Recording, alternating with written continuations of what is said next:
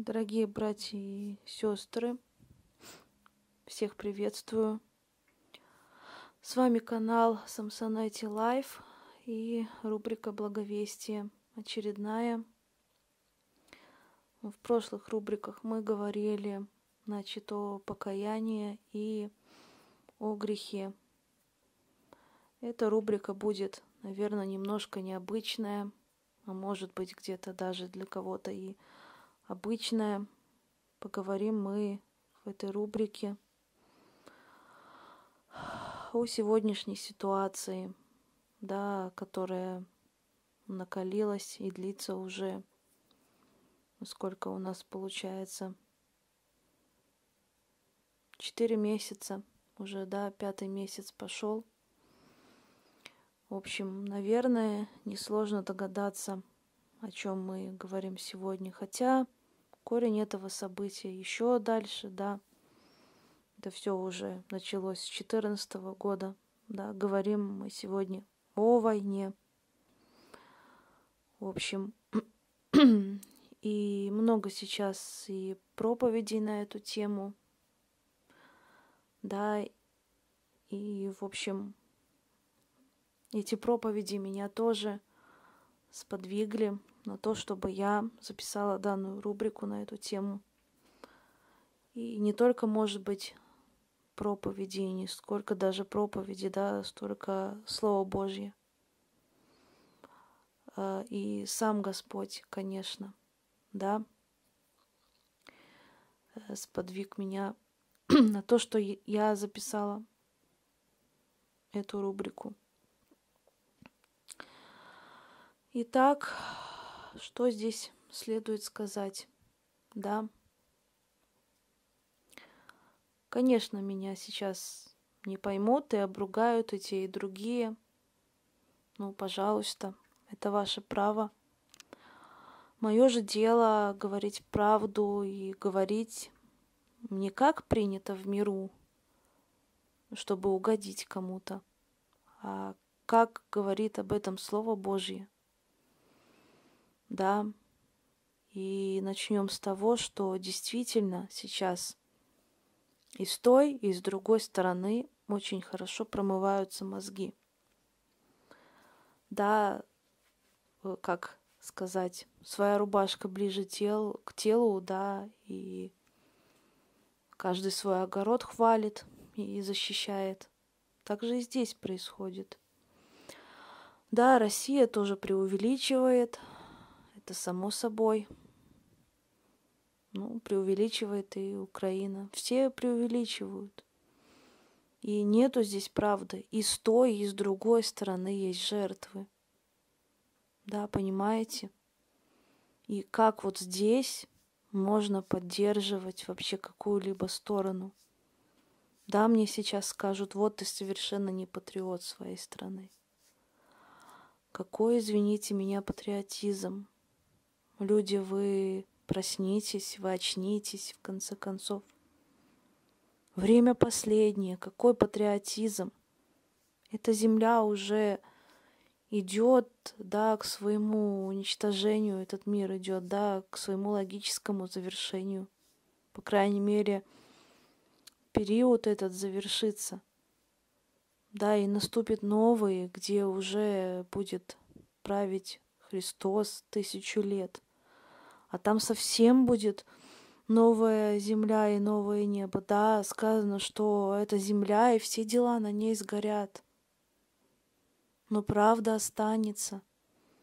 Да, и то, что перейдет на новую землю и новое небо. И ничто нечистое туда не войдет. Вот, поэтому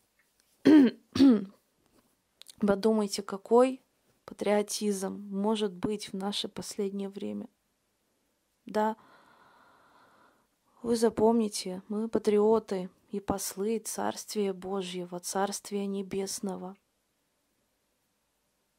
Да, Царствие Божие нужно защищать сейчас, за него стоять, а не за эту временную землю. Что Россия, что Украина, извините меня, это временно все.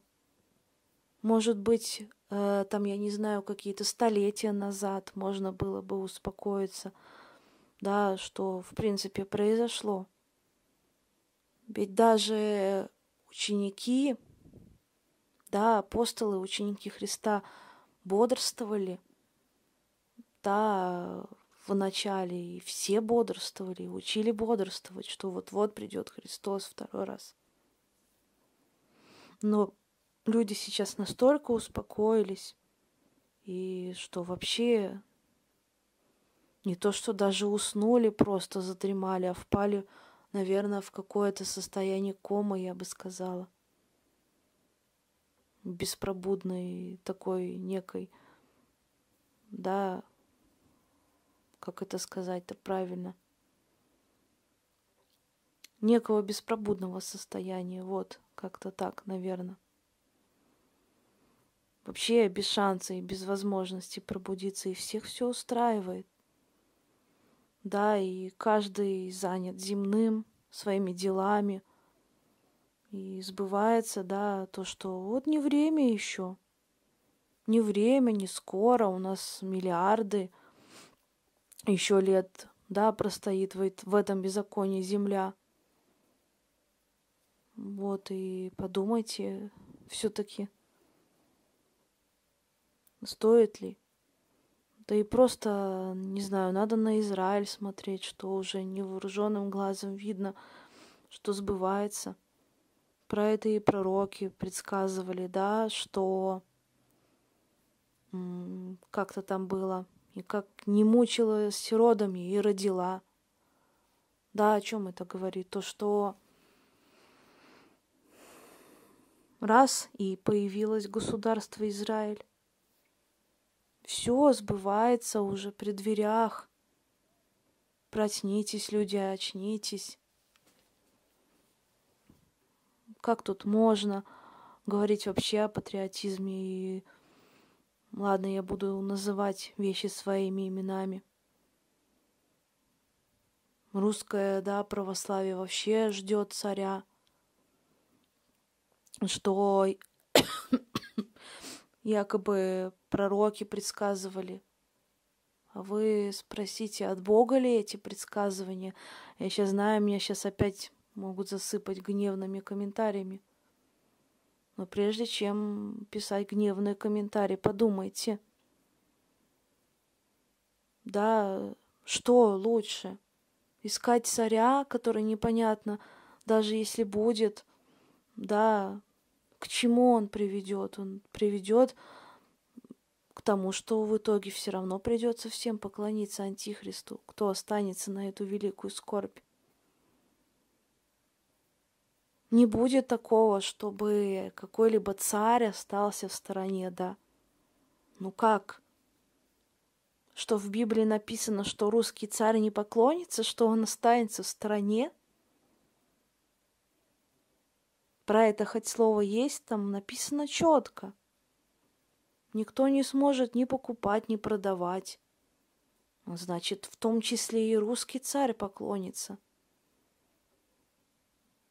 Вот, поэтому очень наивно и глупо ждать чуда царя, который вот приведет к спасению. Не этого ждете люди, совсем не этого ищете. Ищите прежде Царствие Божьего, Царствие Небесного ищите, а не земного. Что вот придет царь, что вот у вас нет никакого патриотизма. У нас есть патриотизм, еще раз повторяюсь, да, мы просто патриоты. Царствие Божьего, Царствие Небесного мы патриоты. Потому что мы понимаем, что Время куда нельзя уже последнее. В общем, так что далее, да, поговорим, что происходит. Разделяется церковь, да, внутри православной церкви.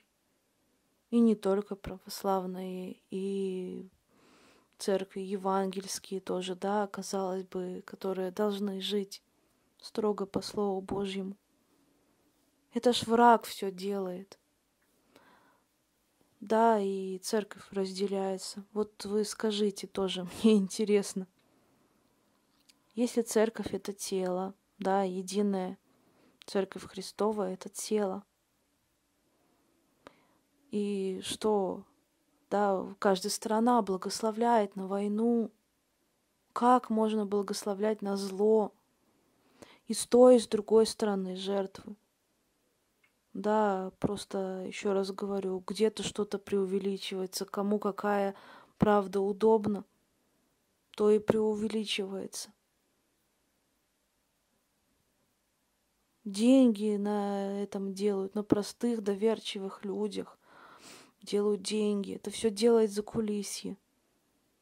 И люди просто на это ведутся так жалко, так обидно, так больно. Вот и сама, наверное, я до недавнего времени, даже не то, что до недавнего, а когда еще оставлена мною была, как я молилась в прошлой рубрике, первая любовь, да, Господь, тоже на это велась. Вот просто подумайте, да, и возвращаясь к церкви, да, как телу Христову,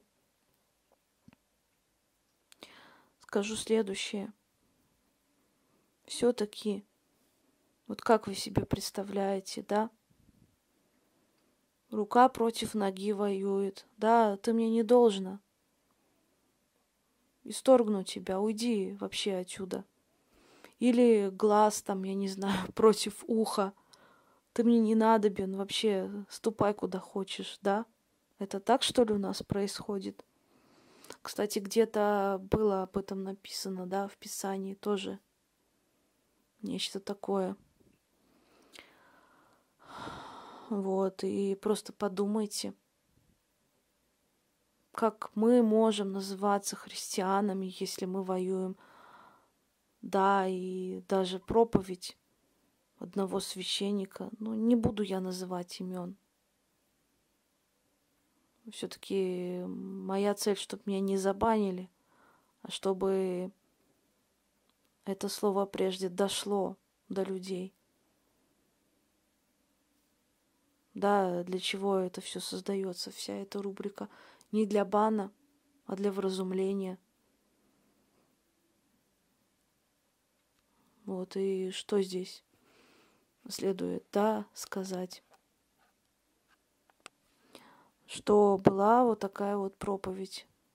Не знаю, есть она сейчас или нет, что как-то так она называлась, то ли мы боремся с мировым сатаной, то ли мы боремся с западным, в общем, или мы боремся с мировым злом, что-то такое было на этой почве. Ну, Народ, вы просто поймите, что значит мы боремся, а разве Христос вообще заповедовал воевать? Ладно, там еще раз повторюсь, в Ветхом Завете там, да, там язычники просто совращали, да, верующих, евреев, например, да. И сами где-то, может быть, даже стремились воевать. Вот воевали, потому что сносили их фаалов, где-то даже, да. Но это как бы ветхозаветние времена, во-первых, было.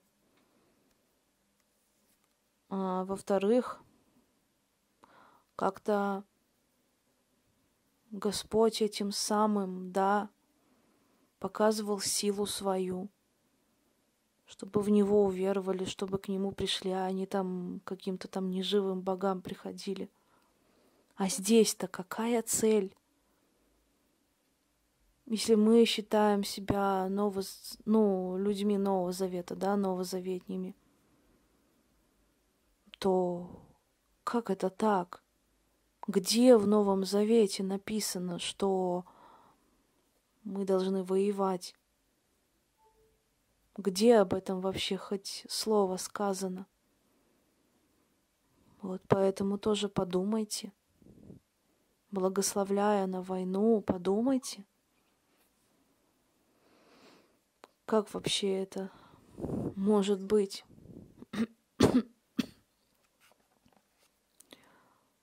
Да, и просто найдите, да, где написано, что воевать люди должны друг с другом. Мы воюем со злом. Со злом не оружием надо воевать, а другими методами, другими способами. Да, тем же Словом Божьим. Мы добрые воины. Ну что значит добрые воины? Это те, кто, в общем, идет за Христом, отстаивает Царствие Божье. И не оружием воюет, а на что-то там, например, противопоставляет, да, цитаты из Священного Писания. Ведь Христос же, когда его да, распинали. Он же мог всех направо-налево швырнуть. Он мог взять меч всех, разрубить, расколоть там, я не знаю, да, благословить на войну, я не знаю. Могло же смятение просто в народе подняться. вот, и с креста спокойно мог сойти, и разбойников всех перебить. Но он же смиренно это все перенес. Так что подумайте, очень-очень хорошо подумайте. Стоит ли смотреть вообще вот такие вот передачи и идти на поводу мирового закулисья? Да нас же дурачат, на нас же делают деньги. Да, вот вы сейчас скажете, что да, там испокон веков там это все, может быть, было. И то, что в прошлом там еще веке, да, в той же Украине нацизм возрождался. Это одна правда, а другая правда. А с другой стороны, так ли правильно мы, например, да, русские, представители России, точнее, да, подступаем. И там, и там насилие. И с той, и с другой стороны. Грех есть грех, как его не оправдывай все равно. И там, и там жертвы. В общем, и молиться сейчас надо. Да, чтобы это как-то остановить да, чтобы прекратились вот эти жертвы, неоправданные совершенно. Ладно, там войны между собой, и то матерей жалко. Но ведь мирные же жители гибнут. Ради чего? Ради чьих-то амбиций, ради чьих-то интересов. Зачем это все? Ну да, одни там оправдываются тем, что нацизм на, на Украине, что там их так учат. Неправильно. Да, для нас это неправильно. Это не наша, например, точка зрения. Для них тоже какая-то на... наша точка зрения неправильная. Но ведь как-то же надо к правде общей прийти. И не такими же методами – Неужели больше не было методов, я не знаю. В конце концов, о чем это говорит? Да, что Господь попускает такие события. Господь попускает болезнь воина. В данном случае, прошу прощения, эмоции просто зашкаливают. В данном случае он просто Господь, да, допустил эту войну. А почему? Давайте разбираться, почему. Не только, да, проповедники так считают. В общем, и не один проповедник. Ну и я тоже с этим соглашусь. Да, как человек, который старается. Не знаю, могу ли я назвать себя еще пока истинным христианином, но я стараюсь изо всех сил, сколько только их у меня есть, да, после определенных событий, которые со мной случились. Вот, и давайте действительно порассуждаем. Да, почему Господь попускает это все?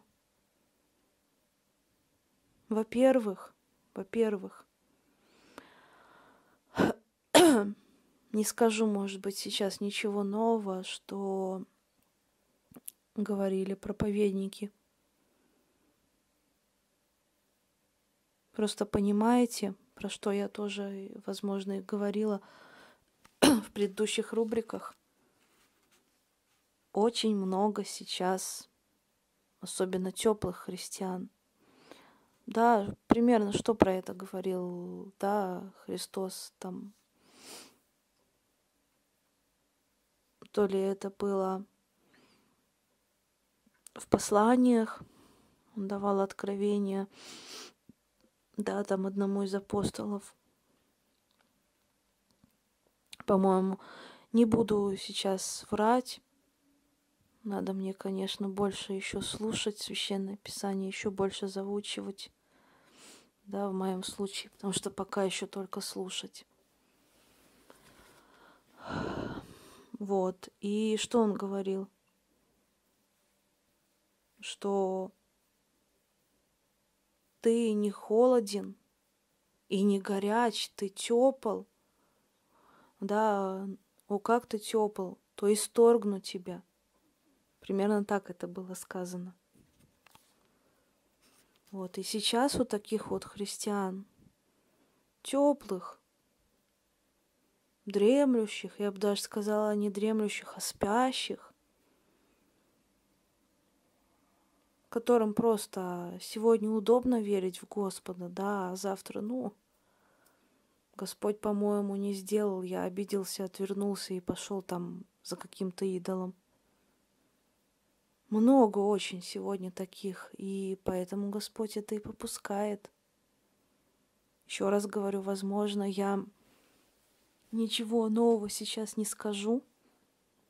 Да, где-то даже повторю слова, да, этих людей, этих проповедников. Но это действительно так. Вот, и вторая, конечно, причина. Ладно, если бы мы еще были только теплыми, да, и даже не холодными и не горячими. Так мы же еще и не каемся. Мы во всем правы. У нас настолько гордости и вот это вот эгоизм, да, от э, первородства, вот этого вот. Что просто не до покаяния вовсе. Вот отсюда все и начинается. Вот оттуда все идут и проблемы. В общем, люди думают, а в чем же мне каяться? Я ж такой чистый, я ж такой безгрешный, я ж только знаю. Вы все дураки кругом. Вот оттуда и берется, это и есть фарисейство. Вот поэтому еще Господь и попускает это все. И Да, по поводу теплости еще хотела добавить. То, что невозможно в данном вопросе занимать какое-то среднее положение, да, в вопросах веры и следования за Господом, следования за Христом. либо ты совсем не веришь, да, либо ты все-таки ревнуешь по Господу, идешь за Ним, спотыкаешься, каешься и дальше идешь за Господом, причем не оставляя первую любовь. Вот. Люди просто не понимают, даже мои близкие люди. Да, не буду сейчас уточнять. Просто не понимают. Совершенно. Что либо так, либо так. Третьего не дано в данном вопросе. В общем, Так что, да, вот эти вот причины. И еще, да, как было написано в последнее время, по причине умножения беззакония во многих охладеет любовь. Да, что мы и наблюдаем, нету сейчас совершенно любви к ближнему. Да, чаша закония уже переполнилась, все. А что будет на великую скорбь? Это же будет такой ужас, это же просто, я говорю, выжить даже нельзя будет. Да, и там уже за имя Господа просто надо будет гибнуть реально. Если не за имя Господа, так все. Ты идешь в зло, в погибель. Ты поклоняешься Антихристу. Да, и третьего здесь просто не дано и там, и там быть. И нашим, и вашим нет. Такого не будет. Это сейчас во время благодати, да, мы как бы еще можем такое допустить. Но тогда такого не будет. Тогда четко надо будет сделать свой выбор либо туда, либо сюда. И если его уже четко не сделать сегодня, то потом, извините меня, уже вряд ли можно будет сделать правильный выбор. Вот, и так как по причине умножения беззакония во многих охладеет любовь, уже охладела, да. Вот что мы имеем. За это тоже Господь попустил нам. Это все. Да, и любовь не только просто к ближнему охладела. Да, там хамство направо и налево. И неуважение, не побоюсь этого слова, к инвалидам, к немощи, да. Хотя что говорил на эту тему тоже Господь. И если Господь даст, то, может быть, об этом тоже поговорим в наших рубриках, что сила моя в немощи совершается. Да, в общем. И кто был меньшим, станет большим. Как бы здесь тоже можно этой мыслью продолжить. Вот, а люди просто не то, что не понимают этого всего.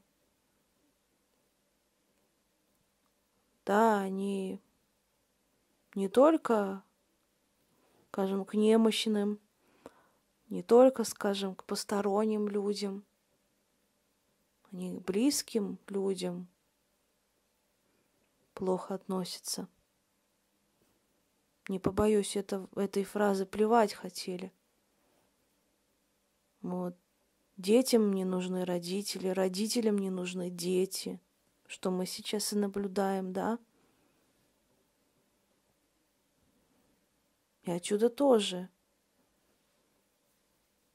может возникнуть нечто,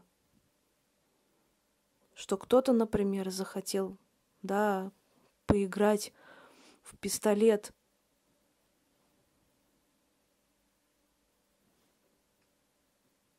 Да, как есть, так и говорю. И эти игры превращаются в настоящие войны. Сначала люди тренируются, да, в детстве друг на друге, скажем. Потом они это воплощают в жизнь. Оттуда и жертвы идут. В общем, это тоже очень опасно, это тоже очень непросто. Вот, и еще, да, что сказано – что будут дети непокорны родителям, что мы сейчас сплошь и рядом замечаем.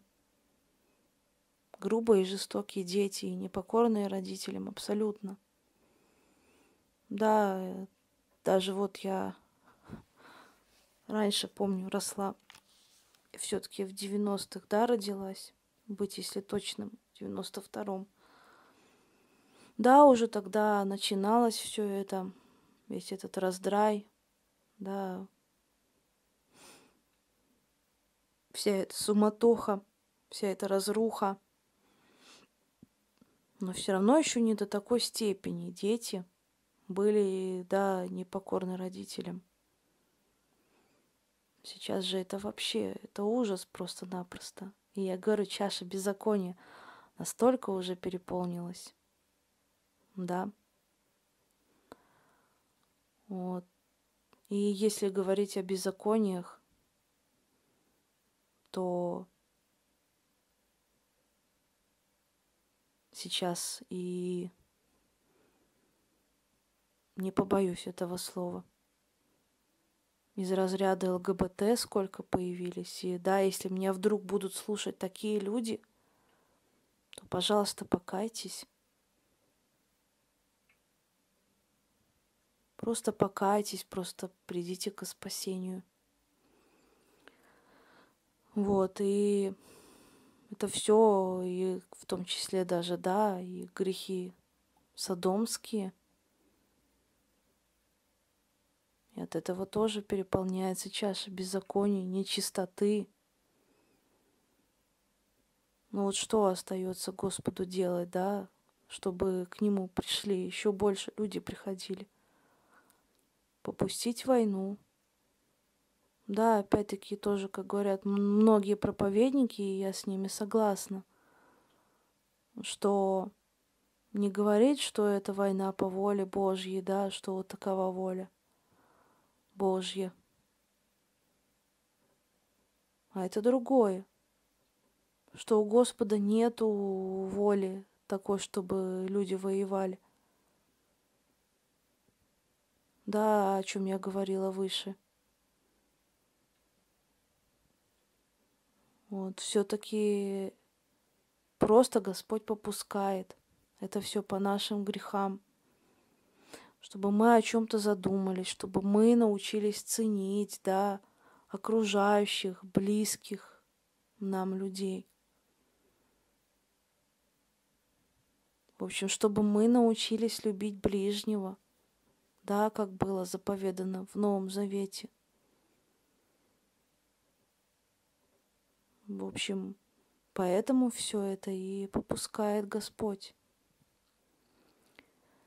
И что здесь следует сказать?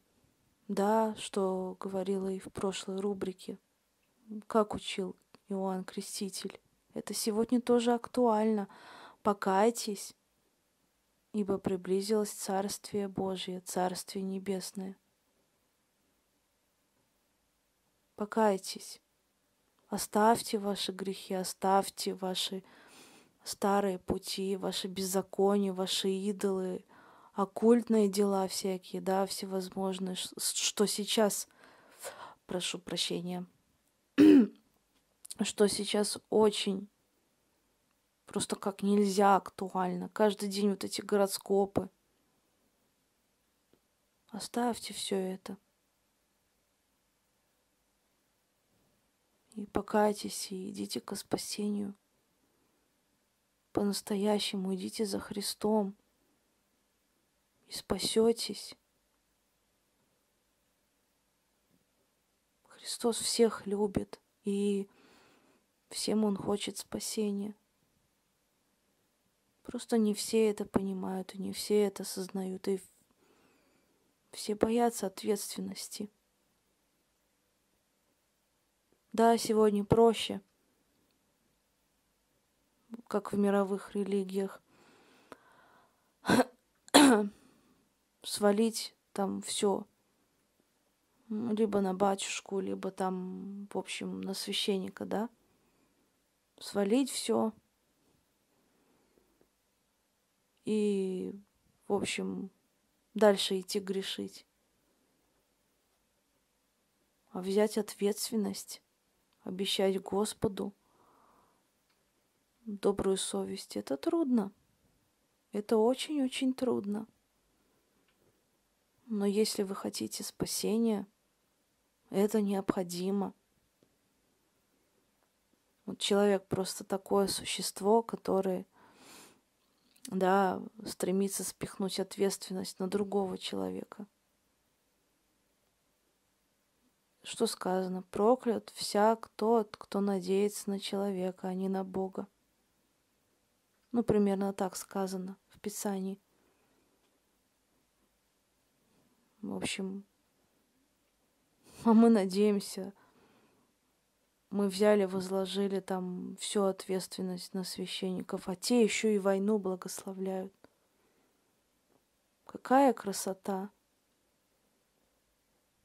Да, сами во грехе, еще и людям грехи прощают. Поэтому, пожалуйста, стремитесь иметь личное отношение с Господом, а не перекладывать свою ответственность на другого человека. Это, кстати говоря, тоже одна из причин. Да, почему Господь сегодня попускает эту войну. В общем, очень прошу, и не только я, и все, кто отстаивают Царствие Небесное, все, кто является патриотами и послами Царствия Божьего. Покайтесь, ибо оно приблизилось уже, уже все уже при дверях. Уже некогда сейчас идти на поводу за кулисья и отстаивать чью-то сторону, давая им возможность на нас просто обогащаться –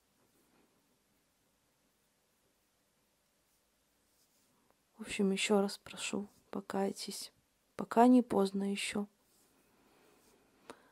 Потому что там двери закроются и все.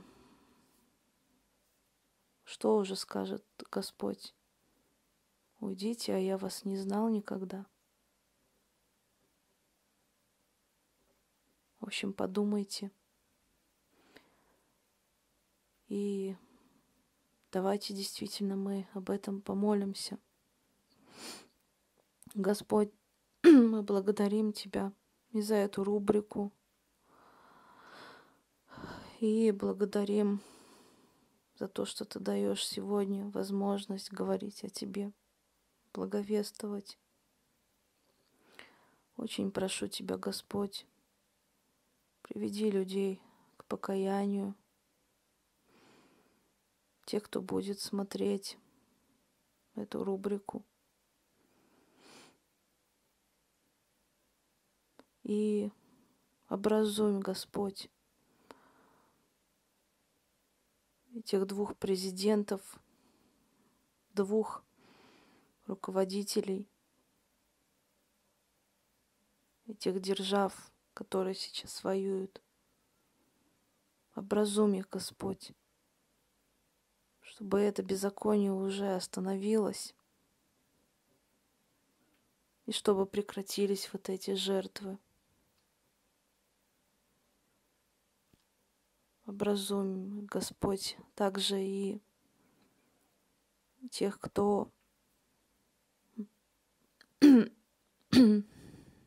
так сказать, натравливает эти державы, те, кто подогревает эту войну.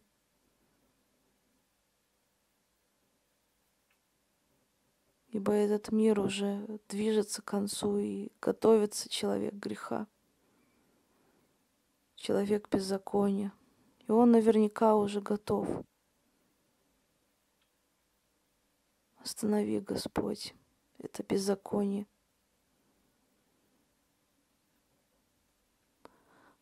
Благослови, Господь, всех, кто слышит эту рубрику. Прошу Тебя, Господь, во имя Христа, Спасителя нашего.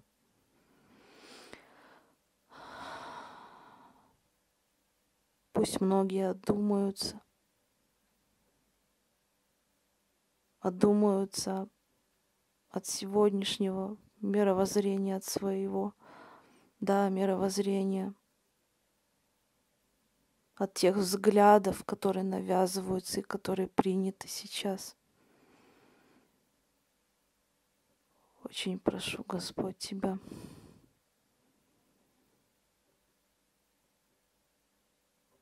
Пусть люди отдумаются, покаются. И тех, кто войдет в число спасенных, войдет в число невесты, Церкви Христа. Пусть будет этих людей больше. Во имя Отца и Сына и Святого Духа во веки веков. Аминь.